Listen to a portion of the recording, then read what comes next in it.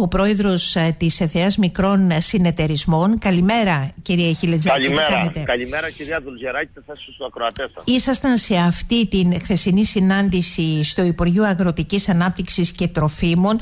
Ουσιαστικά ο ρόλος αυτής της επιτροπής που συγκροτείται ποιος ακριβώς θα είναι για να ξεκινήσουμε από εκεί γιατί μέσα από εκεί θα πάμε νομίζω στην ΚΑΠ. Ναι, χθες με υπουργική απόφαση συγκροτήθηκε η Επιτροπή όσον αφορά το συνεταιριστικό κίνημα της χώρας. Επικεφαλής στην Επιτροπή θα είναι ο Γενικός Γραμματέας ο κύριος Στρατάκος και υπάρχουν επιστημονικοί φορείς από το πανεπιστήμια και υπάρχουν και εκπροσώποι από τους οργανισμούς του ΕΛΓΑ, η νομική σύμβουλος του Υπουργείου και άλλοι φορείς. Εγώ θα είμαι ο μόνος συνεταιριστής που θα εκπροσωπώ την ΕΦΕΑ στη συγκεκριμένη επιτροπή, ε, στην Επιτροπή Εργασίας και θα υπάρχει και από τη Θεσσαλία ένας άλλος συνεταιριστής που θα εκπροσωπεί τις συνεταιριστικές οργανώσεις η, της επάνω Ε, η Επιτροπή αυτή θα πατήσει απάνω σε μία μελέτη και σε αυτή τη μελέτη θα δούμε πώς μπορούμε να κάνουμε πιο βιώσιμους, πιο λειτουργικούς και να δούμε τα λάθη των αγροτικών συνεταιρισμών, πώς μπορούμε να τα διορθώσουμε μέσα από προτάσεις που θα καταθέσει η Επιτροπή η, στο Υπουργείο Αγροτικής Ανάπτυξης. Κυρία Δουλγεράκη, η Ευρωπαϊκή Ένωση, η νέα ΚΑΠ, όλα τα ευρωπαϊκά πρότυπα πλέον μιλάνε μόνο για συνεταιριστικά σχήματα. Όλες οι αγροτικές ενισχύσεις, είτε είναι του πρώτου πυλώνα είτε είναι του δεύτερου πυλώνα, σε προγράμματα αναπτυξιακά τα μόρια είναι πολλά περισσότερα από ότι είσαι συνεταιριζόμενος και μη συνεταιριζόμενος. Δηλαδή θα φέρω ένα μικρό παράδειγμα στους ακροατές Ναι. για να καταλάβουν Ναι. ε, για να καταλάβουν οι ακροατές. Αν ένας παραγωγός έκανε ένα σχέδιο βελτίωσης ε, που τα μόρια εκεί είναι με το σταγονόμετρο συγκεκριμένα ε, ε, αυτός ο παραγωγός αν ήταν συνεταιριζόμενος ήταν σε ομάδα παραγωγών σε αγροτικό συνεταιρισμό που είναι γραμμένο στο ΕΜΑΣ στο Εθνικό Μητρό έπαιρνε στο σχέδιο βελτίωσης 7 μόρια παραπάνω από ότι παίρνει ένας που δεν είναι συνεταιριζόμενος. Αυτό κατευθείαν μας δείχνει ότι η, το συνεταιρίζεσαι το έχει υιοθετήσει πάρα πολύ έντονα η Ευρωπαϊκή Ένωση και, και αυτό πρέπει και εμείς στη χώρα μας να το, εξα, να το επαναφέρουμε γιατί, γιατί πραγματικά ε, ε, ήταν λίγο παρεξηγημένος στη χώρα μας είχαν γίνει διάφορα α, με το συνεταιρίζεστε και πρέπει να βάλουμε νερό στο κρασί μας πλέον για να μπορέσουμε να απολαύσουμε αυτά τα προνόμια που έχουν όλες οι συνεταιριστικές οργανώσεις όλες οι συνεταιριστικές οργανώσεις της χώρας ε, για να μπορέσουμε είμαι τώρα στο αεροδρόμιο, συγγνώμη που ακούτε τις Ναι, ναι, δεν ανακοινίες, πειράζει, αλλά δεν μας πειράζει, πετάω, σας, σας ακούμε επιστρέφω. καθαρά. Ναι. Λοιπόν, εσείς λέτε ότι είναι Ναι. ουσιαστικά το συνεταιρίζεσθε μονόδρομος. Μετά τα όσα διαπιστώθηκαν τα προηγούμενα χρόνια, τα όσα υπόθηκαν τα προηγούμενα χρόνια, την αποδυνάμωση των ε, ε, αγροτικών συνεταιρισμών, εδώ τα πράγματα έρχονται σήμερα να αλλάξουν. Γιατί η Ευρωπαϊκή Ένωση πάει σε αυτή την κατεύθυνση, κύριε Χιλετζάκη; Τη δίνει αυτή την κατεύθυνση γιατί έχουμε τραντραχτά παραδείγματα μέσα στην κοινότητα που αυτά τα παραδείγματα που αυτά τα παραδείγματα μας Ναι. α, δείχνουν αυτά τα παραδείγματα μας δείχνουν ότι οι, έχουν λειτουργήσει πολύ σωστά οικονομοτεχνικά όσο αφορά α, το κομμάτι της βιωσιμότητας των αγροτών και ειδικά στην Ελλάδα μας που ο κλήρος είναι μικρός και πολυτεμακισμένος θα πρέπει κυρία Δουλγεράκη το συνεργατικό σχήμα να το κάνουμε σημαία για να μπορούμε να ανταγωνιστούμε τις διεθνείς αγορές. Αν δεν το, αν δεν το καταλάβουμε εμείς αυτά, αυτό με όλα τα μικρά, με όλα τα μικρά σχήματα που υπάρχουν ε, ήδη ΕΘΕΑΣ με τους μικρούς συνεταιρισμούς, που και με τους μεγάλους φτιάχνουμε την εξαγωγική που θα, διοσετε- θα διαπραγματευόμαστε όλα τα αγροτικά συνεταιριστικά προϊόντα της χώρας από το λάδι μέχρι και το, ο, τα φρούτα, τα λαχανικά για να μπορέσουμε ε, να πάμε παρακάτω. Μμ.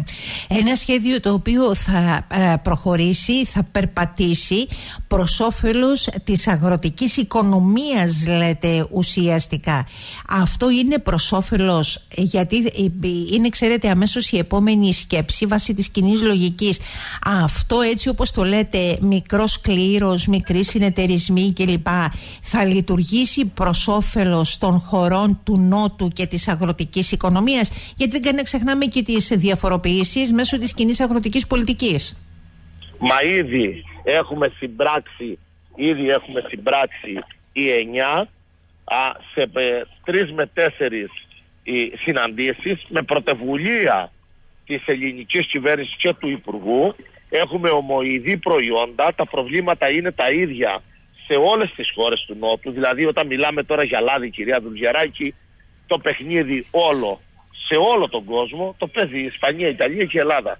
Είμαστε οι τρεις μεγαλύτεροι παραγωγοί ελαιολάδου που πραγματικά α, είμαστε εμείς που καθοδηγούμε τα νήματα στο κομμάτι του λαδιού. Αν εμείς δεν μπορούμε να συνεννοηθούμε μεταξύ μας και ευτυχώς κυρία Δουλγεράκη που είπα και πριν με πρωτοβουλία του Υπουργείου Αγροτικής Ανάπτυξης πριν από μερικούς μήνες έγινε το η πρώτη σύνοδο των 9 των χωρών του Νότου και σήμερα μετά από 4-5 συνεδριάσεις πραγματικά συμπορευόμαστε όλοι μαζί για ένα κοινό σκοπό για τα ομοειδή αγροτικά προϊόντα που έχουμε. Μάλιστα. Θα φέρω άλλο ένα παράδειγμα για τους μικρούς συνεταιρισμούς και το κλείνω, όχι, συγγνώμη, για τα συλλογικά σχήματα. Είμαι τώρα ναι, ναι. πρόεδρος των μικρών ναι. και λέω συνέχεια τη λέξη μικρών. Ναι. Ε, αν η Δουλγεράκη η Αγγέλα, ο παραγωγός ελαιολάδου, είναι συνεταιριζόμενος σε αναγνωρισμένη συνεταιριστική οργάνωση γραμμένη στο Υπουργείο κτλ.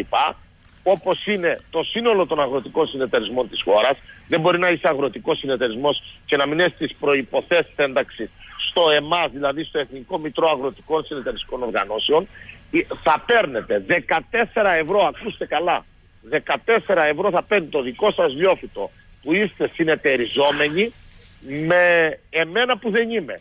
Δηλαδή, η Δουλγεράκη Αγγέλα, αν δηλώσει 10 στρέμματα ελιές, θα πάρει 14 ευρώ στο κάθε στρέμμα παραπάνω έξτρα επιδότηση επειδή είναι σε οργάνωση παραγωγών, σε ομάδα παραγωγών του συγκεκριμένου προϊόντος. Μάλιστα. Αυτό σημαίνει ότι σε πάει ουσιαστικά και στην τυποποίηση του προϊόντος και στην εξαγωγική του πορεία και όχι μόνο στην πορεία του στη διεθνή αγορά αλλά και στην πορεία του στην ε, ε, εγχώρια αγορά με ό,τι αυτό μπορεί να περιλαμβάνει με όρους και προϋποθέσεις κυρία Χιλετζάκη. Είναι ενδεχόμενα κάτι που μπορεί να αντιμετωπίσει και αυτή την αθρώα εισαγωγή προϊόντων από άλλες χώρες μέσω άλλων συμφωνιών, διακρατικών συμφωνιών σε βάρος των προϊόντων των παραγωγών της κάθε χώρας; Είναι τώρα με πάτε στις 19 προτάσεις του Υπουργείου που είναι πολύ πολύ οι, οι στοχευμένες στο κομμάτι της διατροφής στο κομμάτι της ασφάλειας των αγροτικών προϊόντων και η, ήδη η Ευρωπαϊκή Ένωση και η Γαλλία, μπορώ να πω, τις προάλλες είχε κάνει πρόταση για τα, προϊόντα των τρίτων χωρών, δηλαδή την εισαγωγή των προϊόντων των τρίτων χωρών. Θα σας φέρω ένα παράδειγμα. Πάμε στο λάδι. Θα λέω πάντα το λάδι γιατί είναι, το λάδι είναι πλέον εθνικό προϊόν. Όλη η Ελλάδα φυτεύεται ελιές. Όλη η Ελλάδα κυριολεκτικά κυρία Δουλγεράκη, εγώ τώρα από, τη, από τα νέα καθήκοντα ναι. που έχω ναι. είμαι συνέχεια με μια βαλίτσα στο χέρι και γυρίζω όλη τη χώρα, όλους τους συνεταιρισμούς, από τον πιο μικρό μέχρι και τον πιο μεγάλο συνεταιρισμό της χώρας και πραγματικά υιοθετώ και τα προβλήματα και βλέπω και τι γίνεται καλλιεργητικά. Το λάδι είναι εθνικό προϊόν πλέον και θα γίνει και τα επόμενα χρόνια πιο αυτό, δυνατό. Αυτό σημαίνει από την άλλη, δεν πάω σε άλλο κεφάλαιο, αλλά το κάνω ως παρατήρηση και αν θέλετε κρατήστε το και το ε, αναφέρετε μετά, αλλά αυτό σημαίνει ότι φεύγουμε από την ε, παραγωγή ή από την αμπελουργία ή την παραγωγή στα φιλιού ή την παραγωγή στα φίδας, ε; Ναι, ναι. ας το πούμε έτσι. Να, να, να ολοκληρώσω ένα λεπτό. Ναι, ναι, σαφέστατα, σαφέστατα. Ναι, ναι, ναι. Λοιπόν, Έχουμε το ελαιόλαδο σε όλη τη χώρα, το ελαιόλαδο σε όλη την Ευρώπη. Εμένα σαν Ευρωπαίος ελαιοκαλλιεργητής, είτε καλλιεργώ στην Ισπανία, είτε στην Ιταλία, είτε στην Ελλάδα, έρχεται η κοινότητα, η Ευρωπαϊκή Ένωση για να καταλαβαίνουν και οι ακροατές, έρχεται η κοινότητα και μου λέει, άκου να δεις ε, κύριε Φιλετζάκη, εσύ για να καλλιεργείς τις ελιές σου όπου και να βρίσκονται είτε Ισπανία είτε Ιταλία είτε Ελλάδα θα έχει συγκεκριμένες δραστικές και συγκεκριμένα φυτοφάρμακα το Α, το Β και το Γ πολύ ωραία για την ασφάλεια των πολιτών της Ευρωπαϊκής Ένωσης για να έχουν ασφαλείς αγροτικά προϊόντα. Πολύ ωραία. Εγώ ο, ξεκινάω και καλλιεργώ με μειωμένες δραστικές που αυτό σημαίνει food cost για μένα, δηλαδή μου ανεβάζει πάρα πολύ το κοστολόγιο γιατί χρειάζεται να κάνω άλλου είδους επεμβάσεις ή να πάρω άλλα μέτρα προληπτικά, περισσότερες ώρες στο χωράφι, περισσότερα έξοδα και βλέπουμε την ίδια ώρα και ανοίγουν τα σύνορα της Ευρωπαϊκής Ένωσης, κυρία Δουλγεράκη, εισάγεται λάδι από τρίτες χώρες, Τουρκία, την Ισία κτλ. Που αυτό το λάδι δεν ξέρουμε ε, την, την διατροφική του ασφάλεια πόσο είναι. Γιατί τα, οι τρίτες χώρες δεν έπονται στον ευρωπαϊκό κανονισμό φυτοφαρμάκων. Δηλαδή δραστικές ουσίες που έχουν καταργηθεί στην Ευρώπη τώρα και 20 χρόνια που είναι απαγορευμένες, απαγορευτικές κυριολεκτικά, mm. τα, οι τρίτες χώρες τις χρησιμοποιούν. Ε, οι τρίτες χώρες...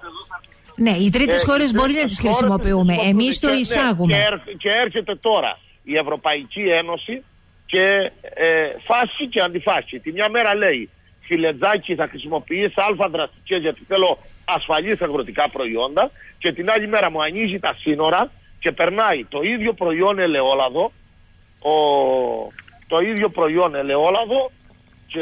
Με ό,τι ουσίες, με ό,τι φάρμακα μπορεί σε υπολοιματικότητα να περιέχει. Αυτό ουσιαστικά λέτε.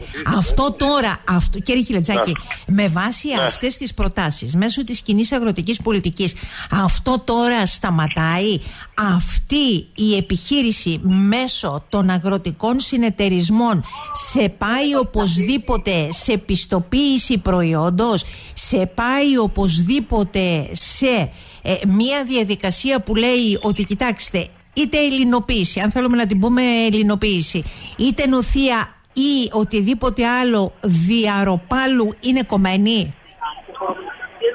Αυτό θα το δούμε. Υπάρχει άλλη μια σύνοδο κορυφής που αυτή η σύνοδο κορυφής είναι τέλος του Απριλίου με τους Υπουργούς Γεωργίας α, τέλος Απριλίου που θα γίνει. Είναι η τελευταία διαπραγμάτευση που θεωρούμε εκεί ότι είναι ναι. η τελευταία διαπραγμάτευση που θεωρούμε ότι εκεί θα πάρουμε κι άλλα πράγματα γιατί η βαλίτσα του Υπουργού την προηγούμενη φορά δεν έφυγε γεμάτη από τις Βρυξέλλες και είχε και το θάρρος και το στένος ο Υπουργός να το πει ότι δεν πάρθηκαν τα μέτρα που έπρεπε να πάρθουν και δεν υιοθετηθήκαν οι προτάσεις που έπρεπε να υιοθετηθούν. Και χθες από το βήμα της Βουλής έκανε κάλεσμα σε όλα τα κόμματα να παρεμβούν στις ε, ευρωομάδες που αντιστοιχούν ναι, σε κάθε ναι, κόμμα ναι. και να περάσουν προτάσεις και αυτές οι προτάσεις να δώσουν λύσεις στον Ευρωπαίο αγρότη που πραγματικά είναι σε ομοιρία. Γιατί κακά τα ψέματα το 2018 που ξεκίνησε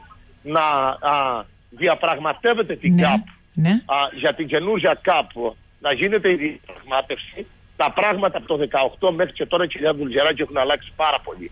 Έχουν αλλάξει πάρα πολύ γιατί γιατί η κλιματική αλλαγή άνοιξε την πόρτα και μπήκε στο σπίτι μας. Κλιματολογικά, κλιματολογικά έχουμε αλλάξει πάρα πάρα πάρα πολύ. Επομένως όταν αλλάζει κλιματολογικά και μειώνονται οι ποσότητες, οι παραγόμενες ποσότητες και αν η Ευρώπη πραγματικά, αν η Ευρώπη πραγματικά θέλει ένα ασφαλής αγροτικό προϊόν και να έχουμε και αγροτική επάρκεια στα προϊόντα, και να μην ανοίγουμε τα σύνορά μας κάθε τέσσερι λίγο και να βάζουμε από τρίτες χώρες προϊόντα. Για όλα τα προϊόντα. Σωστά. Μπράβο, θα πρέπει να βάλει νερό στο κρασί της, να γίνει διαπραγμάτευση σωστή και αυτή η διαπραγμάτευση σωστή να δώσει και ασφαλείς αγροτικά προϊόντα στους Ευρωπαίους καταναλωτές και να πάρουμε και μια υπεραξία στα προϊόντα τα δικά μας που είναι εξαιρετικά ασφαλείς αγροτικά προϊόντα. Γιατί εμείς παράγουμε ασφαλείς αγροτικά προϊόντα και όχι προϊόντα από τρίτες χώρες που αυτές οι τρίτες χώρες κυριολεκτικά α, μας δημιουργούν σοβαρό πρόβλημα αυτή τη στιγμή στην ασφάλεια των αγροτικών προϊόντων. Ωραία. Απαντήστε μου, λίγο, απαντήστε μου λίγο στο, στο ερώτημα μιας που είσαστε στο κομμάτι ε, ελιά, ελαιόλαδο κλπ. Ε, ε, Φέτος ναι. η, η, χρονιά φαίνεται τουλάχιστον όπως ακούω από γεωπόνου και ε, παραγωγούς να είναι πολύ καλύτερη σε ό,τι έχει να κάνει την παραγωγή. Ένα μεγάλο στοίχημα, δεν ξέρω τι γίνεται τώρα γιατί έχουμε και τις περίεργες καιρικές συνθήκες, είναι επίσης και η δακοκτονία, έτσι δεν είναι; Είναι και η δακοκτονία, είναι τα ίδια τα καινούργια μέτρα που μπήκανε ε, όσο αφορά τα 20 χιμ που μιλάει για μπαγίδες, τη δακοκτονία κτλ. Όλα αυτά πρέπει να τα δούμε, αλλά να πούμε όμως και μία από τις 19 προτάσεις που τις υπογράφει και η ΕΦΕΑΣ και υιοθετήθηκε και από την Ευρωπαϊκή Ένωση και θέλουμε την επίσημη, ναι, ναι, την επίσημη επικύρωση ναι. είναι ότι όσοι παραγωγοί καλλιεργούν ε, κάτω από 100 στρέμματα αυτή η παραγωγή ε, θα έχουν μία ασυλία ελέγχου και δεν θα χρειάζεται να κάνουν και περιβαλλοντικά α, αποτυπώματα όπως θα τα κάνουν οι άλλοι και θα έχουν μία ασυλία σαν μικροκαλλιεργητές. Πιστέψτε με στη χώρα μας υπάρχουν πάρα πολλοί μικροκαλλιεργητές κάτω από τα 100. Ε, ναι. κάτω από τα 100. Τα στοιχεία μιλάνε από μόνα τους είμαστε πάνω από το 37% και με όλα αυτά καταλαβαίνετε ότι θα δοθεί μια τεράστια λύση στο μεγάλο πρόβλημα. Όπως και η άλλη πρόταση που ήταν πάρα πολύ στοχευμένη και ευλογή ναι. είναι η εξής. Ότι ε, όταν ε, το, εμείς παράδειγμα διαχειριζόμαστε 19,3 δις ευρώ σε αυτή την προγραμματική περίοδο μέχρι και το 25. Ε, καταλαβαίνετε ότι το 2% που ετήθηκε η, το 2% που ετήθηκε το 2% που ετήθηκε η κυβέρνησή μας για να φτιάξουμε για να φτιάξουμε ένα, ένα ταμείο για να φτιαχτεί ένα ταμείο στήριξης η, ακραίων καιρικών φαινομένων και να έχει την ευελιξία για να αποζημιώνει άμεσα για να αποζημιώνει άμεσα α, τους παραγωγους με αυτό το ταμείο ναι, ναι. Ο, καταλαβαίνετε ότι είναι μια πολύ πολύ καλή πρόταση μια πρόταση που πραγματικά με την κλιματική κρίση που περνάμε θα δίνει μια καλλιεργητική ασφάλεια. Κακά τα θέματα κυρία Δουλγεράκη. Αν εγώ πάθω ζημιά και δεν αποζημιωθώ την πρώτη χρονιά μπορεί να αντέξω. Αν πάθω ζημιά και τη δεύτερη χρονιά τότε καταστρέφομαι. Τρίτη χρονιά δεν υπάρχει για μένα. Ναι. Δεν υπάρχει για το, μένα τρίτη χρονιά. Το, το καταλαβαίνω αυτό που λέτε. Λοιπόν, ε, θα ε, ανανεώσουμε το ραντεβού μας γιατί καταλαβαίνω και την δυσκολία και σας ευχαριστώ ακριβώς. Ακριβώς. Λοιπόν, ε, εγώ καταλαβαίνω αυτή τη δυσκολία, αλλά θα σας δεσμεύσω για μία από τις επόμενες ημέρες να τα δούμε λίγο αυτά πιο αναλυτικά, γιατί είπαμε έχουμε μπροστά μας μια λοκομική περίοδο η οποία φαίνεται να είναι καλύτερη. Είναι το σχέδιο, είναι η δράση, είναι το πρόγραμμα και από την περιφέρεια σε ό,τι έχει να κάνει με την ε, δακοκτονία να απαντήσουμε σε εκείνο το ερώτημα που λέει αν φυτεύουμε ελιέ σε όλη την Ελλάδα, τι γίνεται με το αμπέλι, δεν το ξεχνάω. Οπότε τα ξαναλέμε, κύριε Χιλετζάκη, για πολύ γρήγορα. Εγώ θέλω και δημόσια να ευχαριστήσω τον Υπουργό για την τιμή που μου έκανε ευθέω να με εντάξει στην Επιτροπή Εργασίας που αφορά τις συνεταιριστικές οργανώσεις όλης της χώρας και είμαι και ο μοναδικός που μπήκα εκλεγμένος. Αυτό σημαίνει ότι η, η, για μένα σημαίνει ότι έχω ένα διπλό βάρος τώρα στην πλάτη μου και θα πρέπει μέσα από τα συνεταιριστικά σχήματα, μέσα από τα συλλογικά σχήματα να τα στήσουμε και να τα δομήσουμε σωστά έτσι ώστε, γιατί έχουμε τα 38 παραδείγματα σε όλη την Ελλάδα καλών συνεταιριστικών σχημάτων έτσι ώστε να ξαναπάρει μπροστά η ατμομηχανή και να τα δικά μας εξαιρετικά αγροτικά προϊόντα να φεύγουν στο μπουκάλι όπως είπατε και να μπαίνουν και στο ράφι με τις συσκευασίες που τους αναλογούν ε, γιατί τα δικά μας προϊόντα είναι αμαρτία να φεύγει το λάδι μας, ο χρυσός μας, στο βιτίο, τα ξέρουμε αυτά, τα λέμε επί σειρά ετών και να μην μπαίνει στο μπουκάλι και να έχουμε εμείς μια θέση αξιοπρεπέστατη στο ράφι. Σας ευχαριστώ πολύ κύριε Χιλιτζάκη. Θα τα ξαναπούμε σύντομα. Καλημέρα.